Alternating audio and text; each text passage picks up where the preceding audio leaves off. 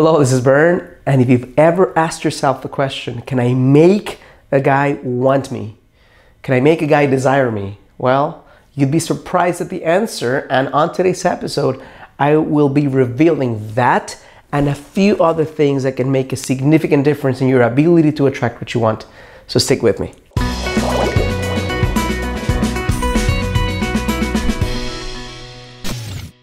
Hello, this is Bern. Welcome to your great life lifetv.com. Today's another edition of Get the Love You Crave. On today's episode, my dear, I'm going to be sharing with you the answer to the question Can I make a guy want me or desire me? The answer, the, the specific, just two word, one word answer is no. You can't make him want you, but you can certainly inspire him to do so. And because the way we do things, in the in attracting soulmates is more of an attraction force than a I'm gonna make him do it force, then it's to your benefit that you can make him and to your benefit that you can actually create that force of attraction.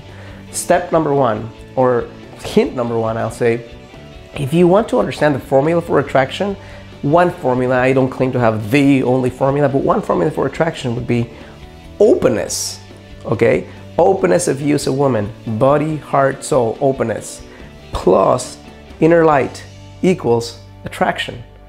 Think about it in other terms, not even male, female. Think about this in terms of a flower.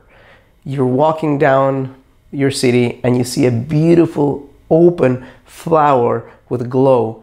You stop in your tracks. It pulls you in. It forces you to stop thinking and connect, even if for a brief moment, to your heart the same thing is true with a beautiful inside out woman who is open and who has that intensity, fire coming through.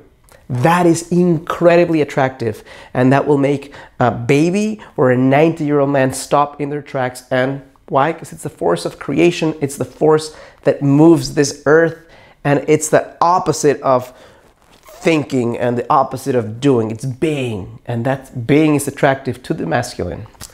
Second hint, since we're talking about light, is a source of light that is self ignited is exponentially more attractive than a force of source of light that needs something else to light up on the inside. Why? Because the source of light that's self ignited is going to shine regardless. It's far more attractive to see and witness something that is awesome, whether you like it or not, than something that will only feel awesome if you say the right word, say the right phrase, treat it a certain way. I'm not saying that that can get even shinier because it does. The feminine lights up even more through that presence and praise and recognition. But you want to be the kind of like the sun. You want to be like the sun that uh, you don't need for somebody to tell you that you're awesome for you to feel awesome. You don't need for a man to tell you you're beautiful, to know in your heart that you're beautiful. The more self ignited you are, the more attractive and the more valuable you become to the eyes of an intelligent and worthy man. Number three, if you want to create that force of attraction with a man, if you want to inspire him and influence him versus make him want you, is be in touch with and embracing of your body. In touch with means that you are fully present in your body, that you are connected to your senses. Sensuality comes from connecting to your senses, right? It's not just expressing yourself sexually, it's connecting to your senses. So you're feeling, tasting, smelling. You are that expressiveness, you are that force of feeling. So if you're in touch with your body and you embrace it and you feel confident in it, that goes back to the first thing I shared. It's part of openness, but it adds an element of sensuality and sexual attraction and sexual polarity and sexual tension that is very hard for a guy not to notice, very hard for a guy not to feel pulled towards. So you want to make sure that you are confident, connected with, and embracing of your body, embracing of your curves, embracing of, if you don't have any curves, embracing of, of your muscles, whatever you have right now, that you are so in touch with it and you're so comfortable and you present yourself in a way that is expressive because you understand and accept what you have. Number four, And this is something that may be counterintuitive to everything else that I'm sharing with you, but you see that it's really not. It's you want to create a stronger force of pull, of attraction with guys. You need to be able to stand your ground more firmly based on what you believe and you know to be true.